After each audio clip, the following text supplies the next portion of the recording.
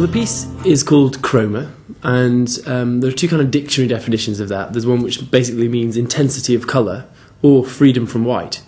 Um, and I've kind of gone with that second prospect, freedom from white.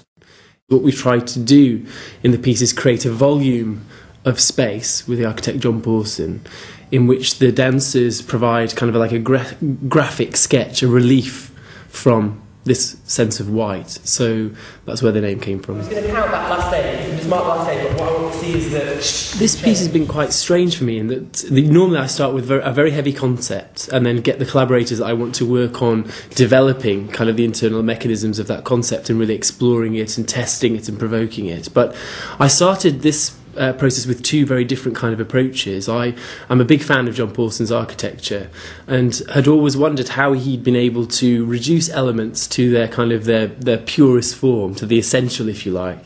And I thought spatially for a dance that would be really incredible if we could take away as much of the interference of a normal stage set and have something that's really, really pure. So I went to, and met John, and he was thrilled to do his first stage design. And we just talked about how we might be able to um, provide or uh, really work with a space which extraordinarily gives the dancers a different sense of volume. Um, and that was at the same time as I'd heard a piece uh, of music by a composer called Joby Talbot called Hovercraft.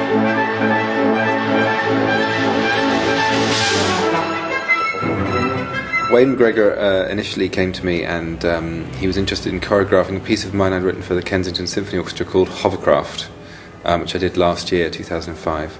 Um, but his problem with it was that, much as he loved it, it was only five minutes long. So we had to find a solution to that little problem. And um, I think initially there was all kind of idea, all kind of ideas sort of sloshing around about what other music might be used.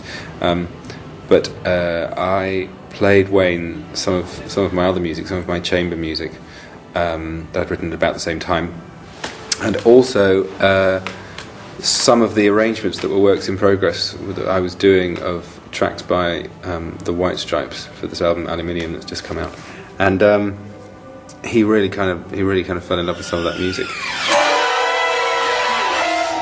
Fantastic thing about the music is it's very uh, acerbic, visceral, physical, quite violent music, and I thought it would be a fantastic contrast between that and this really almost like Zen-like space that John's created, and so those two influences started the process early. So I already knew kind of what the temperature of the piece was going to be before I started in the studio.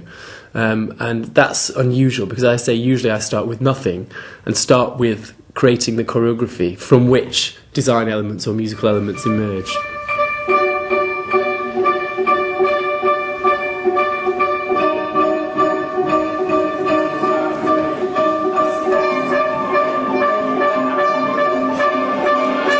It's sort of odd because you, you write the music, and this is since I wrote the music, you know, like 12 months ago, um, and then you see it totally reimagined and reinterpreted by, um, by choreographer and dancers, and that is, it's very odd and a, and a real kind of thrill, you know, because you, I have my own kind of musical ideas and I have my own sort of, I suppose, kind of emotional and, and, and psychological ideas about what the music is about in some kind of nebulous way and uh, it's interesting to see that those ideas bear absolutely no relationship to somebody else's ideas who, who is equally getting something out of the music and enjoying it, but they're in a totally different way, and that's quite um, quite interesting, quite sobering.